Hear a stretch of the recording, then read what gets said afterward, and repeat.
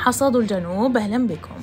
شهدت العاصمة عدن اليوم الثلاثاء انعقاد الاجتماع التأسيسي لمجلس العموم للمجلس الانتقالي الجنوبي الذي يضم كل من هيئة رئاسة المجلس والجمعية الوطنية ومجلس المستشارين تحت شعار تعزيزا وتطويرا للأداء السياسي والمؤسسي برعاية كريمة من الرئيس القائد عيدروس بن قاسم الزبيدي رئيس المجلس الانتقالي رئيس مجلس العموم نائب رئيس مجلس القيادة الرئاسية وألقى الرئيس الزبيدي كلمة في مستهل الاجتماع. أكد أن عقد هذا الاجتماع هدفه الوقوف أمام هموم ومعاناة شعب الجنوب وتطلعاته وتدارس الخيارات لاتخاذ القرارات التي تخدم المصالح الوطنية العليا.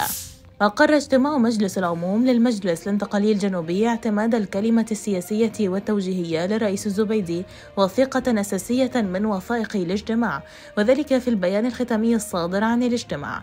البيان تضمن أيضا عددا من القرارات والتوصيات.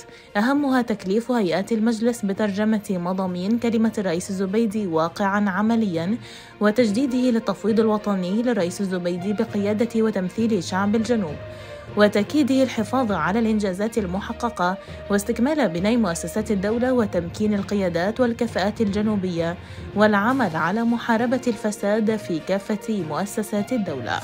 استقبل الرئيس عيدروس الزبيدي رئيس المجلس الانتقالي الجنوبي مساء اليوم الثلاثاء وفد محافظة المهرة المشارك في الاجتماع التأسيسي لمجلس العموم وثمن الرئيس الزبيدي حضور وفد المهرة الاجتماع التأسيسي بهذا التنوع من مختلف المناطق والشرائح الاجتماعية مشيرا إلى أنه يعكس قيمة المهرة وموقعها الاستراتيجي في خارطة العمل السياسي الجنوبي مشيدا بحرص أبنائها على المشاركة الفاعلة في رسم ملامح مستقبل دولة الجنوب.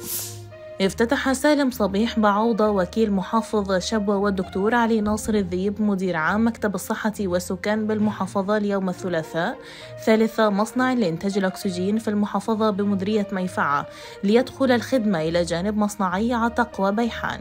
وقال بعوضة إن المصنع يأتي ضمن الجهود المبذولة من السلطة المحلية بقيادة المحافظ عوض بن الوزير لتطوير القطاع الصحي بشبوة وتوفير احتياجات المستشفيات من الأكسجين وتحسين الخدمات الصحية.